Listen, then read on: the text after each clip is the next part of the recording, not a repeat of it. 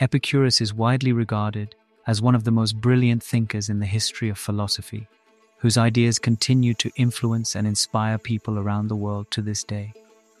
As the founder of the Epicurean school of philosophy, his legacy has left an indelible mark on the world of philosophy and beyond. Epicurus's teachings on the nature of gods and the existence of evil have been particularly influential, shaping the development of theological and philosophical thought for centuries.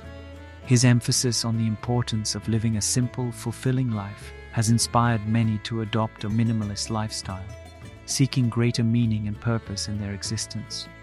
With his extensive writings and profound insights into the human experience, Epicurus remains a valuable voice in our ongoing quest for understanding and enlightenment.